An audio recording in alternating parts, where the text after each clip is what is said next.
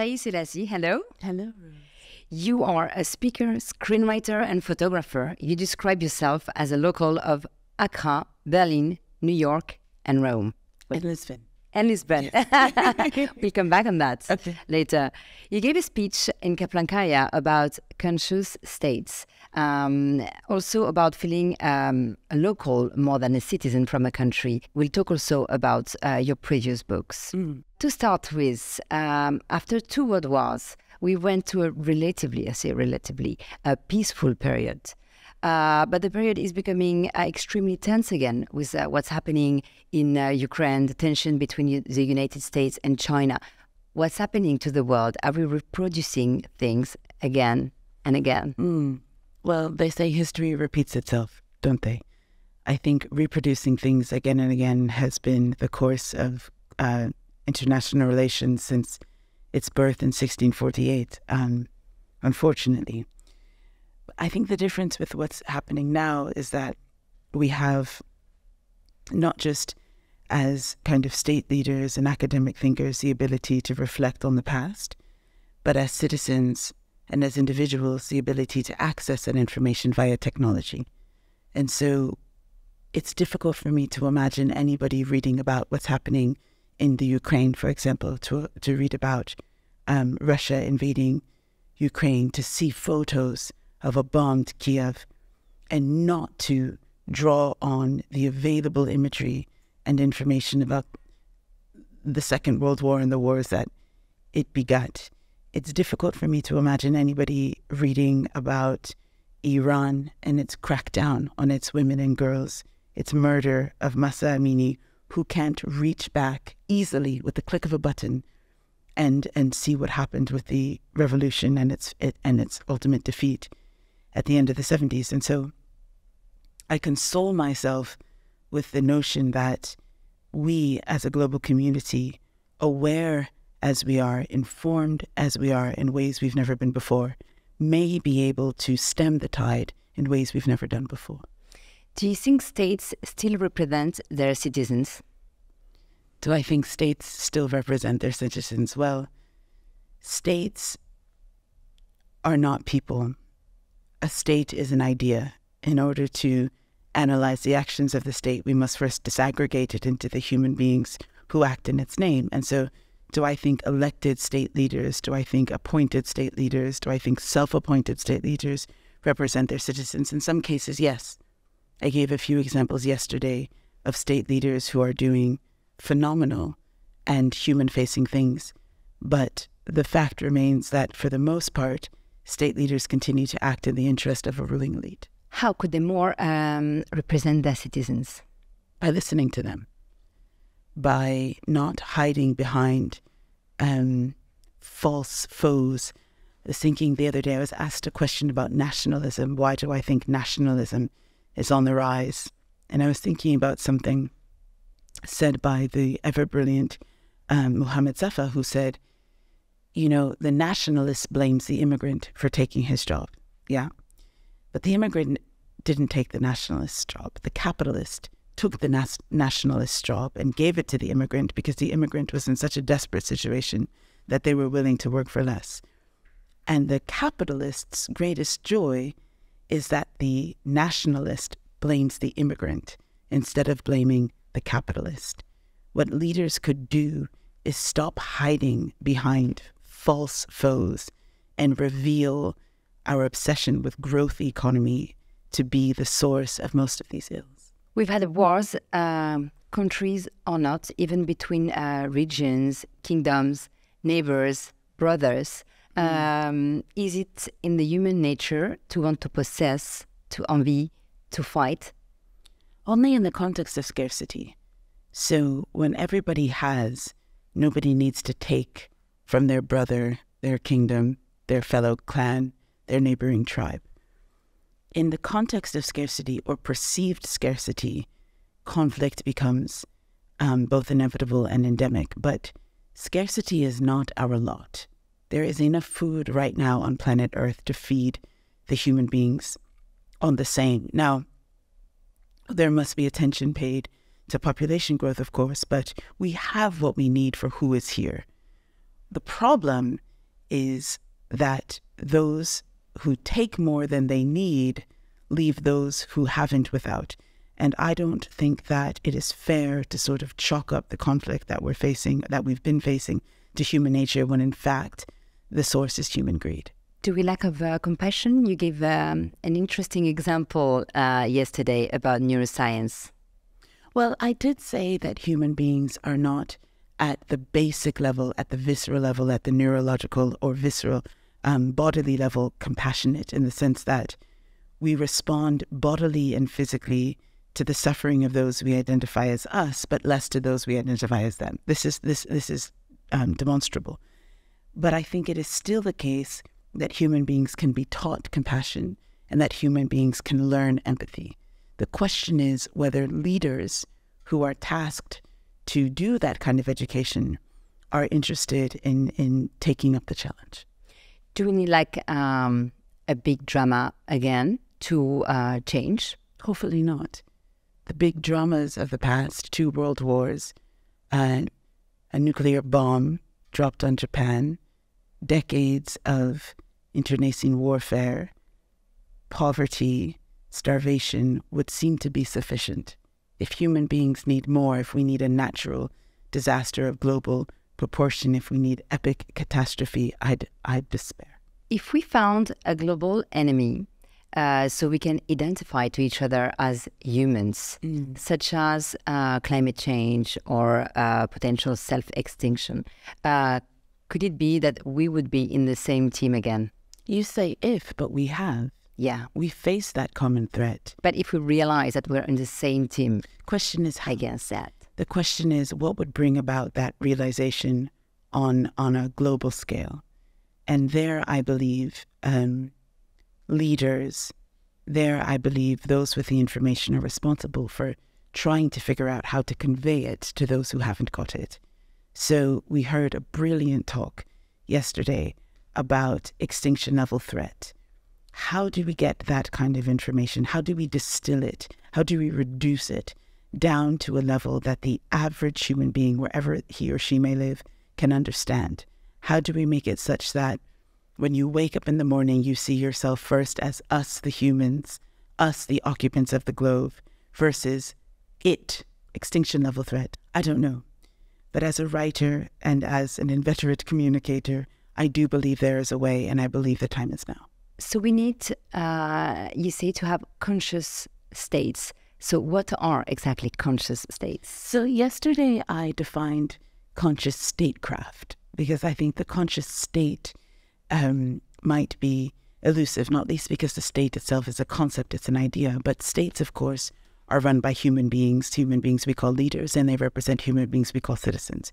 So my question is, how can those human beings act in a way, how can they practice what might be called conscious statecraft?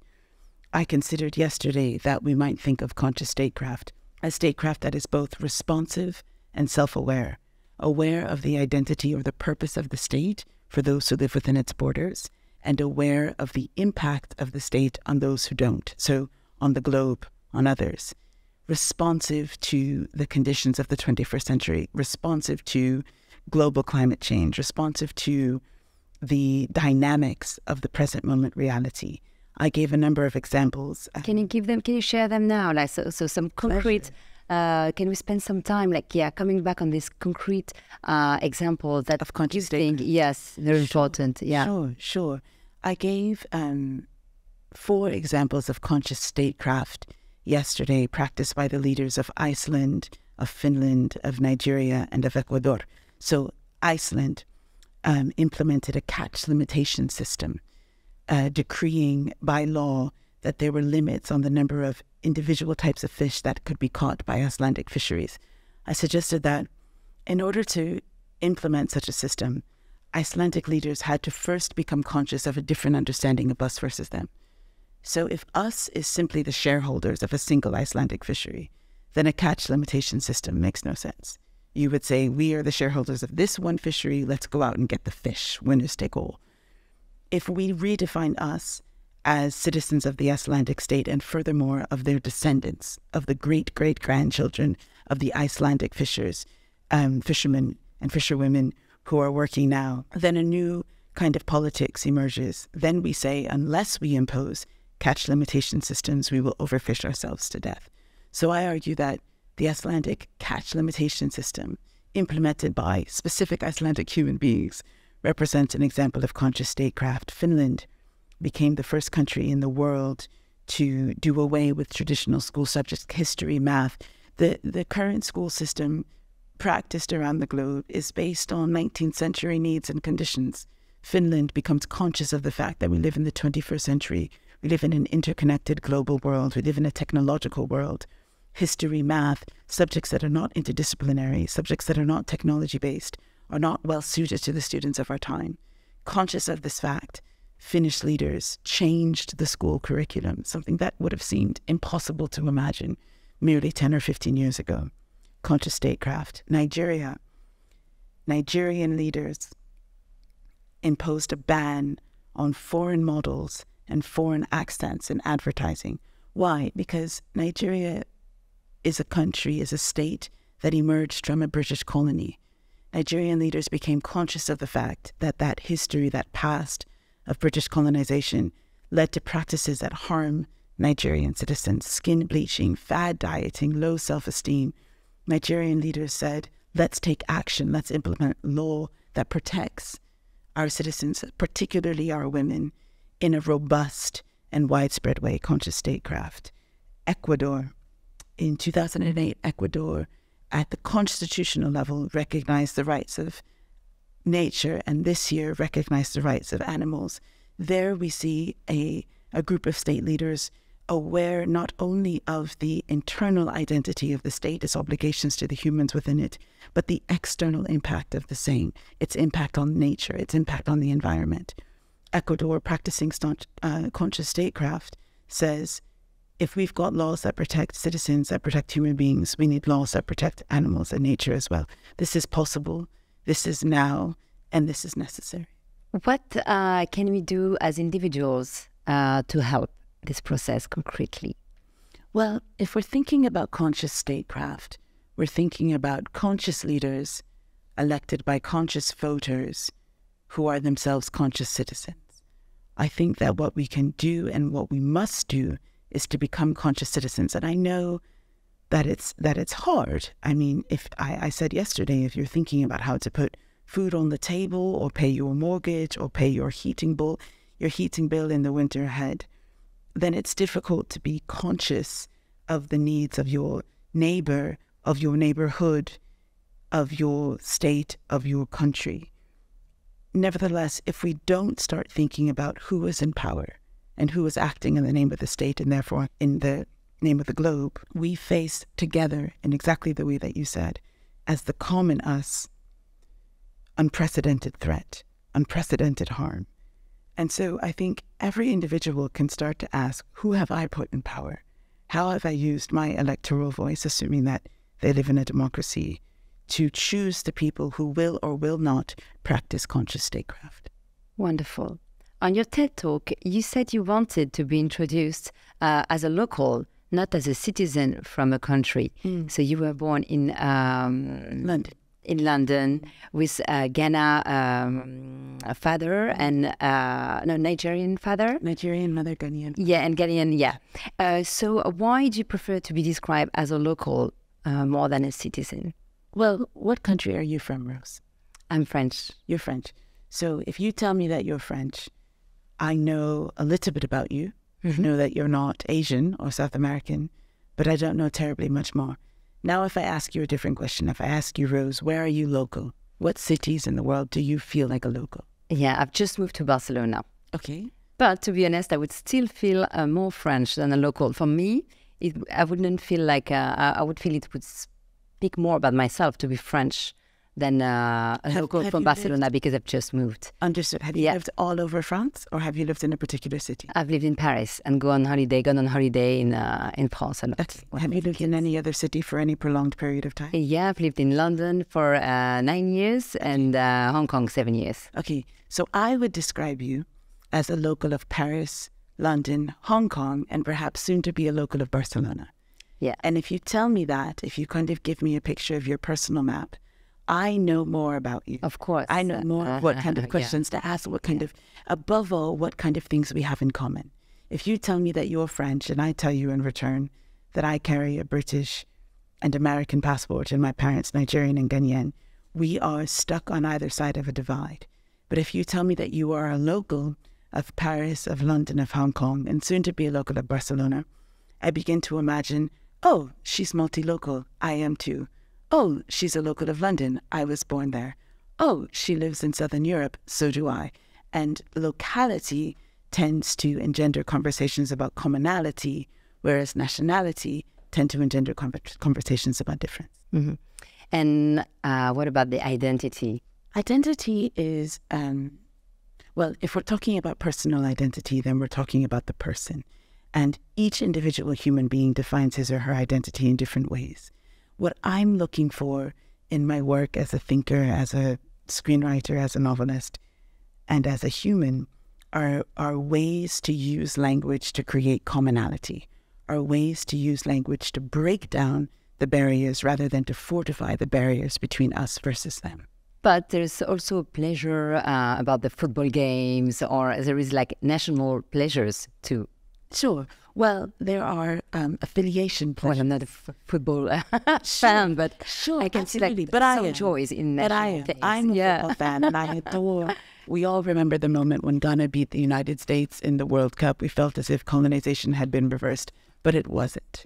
At the end of the day, sports are a representation, a healthy representation of what used to be war. I'd rather see two people duking it out on the American or European football fields than anywhere else, certainly than in the streets of Kiev. But at the end of the day, it is a representation of conflict. It is not conflict itself. And so, what we are looking for are ways to take down the walls with language, with understanding, with mentality, with perspective that exist or that are erected from one individual and the next between one group of people and another, such that actual conflict becomes, if not impossible, then implausible. Yes, I understand. Let's uh, end talking about you. So we said like uh, you're an author, screenwriter, photographer. Uh, you talked about um, Afropolitanism in your essay in 2005, Bye Bye Babar. What was it about? What was your vision about Afropolitanism at the time? And it was a long time ago. So as it evolved when since? I was, when I was a child. it was my first grade uh, book report. Um, Afropolitanism. So in 2005, I wrote an essay describing um, the identity of a particular group of people, um, one of whom is with us today, Joel. Hi, Joel. I know that you are a Kenyan who's speaking Turkish. Yes, I do. Yes, indeed. And so that says to me that you might be a candidate for Afropolitanism. um, because since the 1900s have been Africans who have been sent out into the world, not just into the world outside of Africa, but across the continent itself. These Africans, to say simply that Joel is Kenyan or that I'm Nigerian or Ghanaian, yes, that is a huge and indeed the most salient part of our identity, but it is not complete. I was born in England. I was educated in the United States. And back in England, I've lived in Rome, I've lived in Berlin, I've lived in Lisbon. How do we define ourselves? How do we describe who we are? Surely I would happily stop at I'm African. But the reality is, many African people themselves would say, well, you don't live in Ghana or Nigeria. And so, how does that African define him or herself? To to them, I offer the notion of Afropolitans. It's a tendency to um, oversimplify. To oversimplify. Things. Yes. To the tendency to oversimplify, or rather, resisting the tendency to oversimplify, the very human, the very global tendency to oversimplify is my life's work. Oh, great. I was about to ask you what's the coherence in everything uh, you're writing. That's it. You already found it. Ah, thank you. I've been looking for it for all these years. And here you are. I found it. What's the next book, the, ne- the next project yeah. you're on? Um, at the moment, I've uh, made a kind of lateral move from fiction into television. Um, one of the things that I think most people have noticed in in the golden age of television is that a novel is very similar to a series in structure. And so I found myself in my lifelong pursuit um, of an end to oversimplification, uh, working on um, five different television shows, most of them to do in some way with the African continent, um, but none of them simple in any way. Yeah, I, I was about to. I had no doubt about that. What's the most precious advice you've been given? There is no audience. Um, when I first went to India, I've, I've been many times since, I was working with a, um, a yoga instructor, and he shared this piece of wisdom from Hindu belief. There is no audience, meaning you live your, we live our lives you live your life as if you were on a stage, as if someone is watching, but no one is watching. No one is watching. If you do a good deed, you do it for you, not because there's an audience. If you make a mistake, you seek to repair it for yourself, not because there's an audience. If you harm somebody, you apologize, not because there's an audience, not because somebody's watching, but because it edifies you, because it is the right thing to do, because it is the generous, it is the gracious, it is the good thing to do there is no audience has been a piece of advice that's changed my life. That's wonderful. Is it a way also to um, protect you because you're exposed as a public figure? No, because the person who told me there is no audience did not say there is no stage. I um, right now I've stepped onto your circular rug with this. Um, is it real? Yeah. Okay, with this little mm-hmm. plant. We're on a stage. We're having a conversation for a non present audience um, of viewers, and I know that. But but what it really means is, is that for my existence, for my very existence, for my day to day spiritual way, on yeah. in a spiritual, um, fundamental level, I do not perform my life. I live it. Gives you more freedom. Gives me more responsibility. Uh, I will end with um, Last question. This is uh, the great harvest of the day, something I'm asking to all the guests uh, on this podcast. Mm. If something uh, could be done easily or simply, uh, easy or simple, that could change the world, what would it be for you? Taiye? If one thing could be done that was both easy and simple or and would change the world. Yes what could it be? easy or simple. You don't have to to do to put an and. It doesn't have to be easy and i simple. don't think there's an easy way to change the world. I think if there were um, human beings far more intelligent than i would have found it by now. I have infinite faith in humanity. Like terence i i say i am human. Nothing human is alien to me. But um simple. Talk to people you don't know Find somebody who feels like them, who feels the most like them. Tap into your deepest sense of us. Identify someone who feels deeply so them and talk to them. Thank you, Taiye. Thank you. Thank you so much. Merci bien. Merci.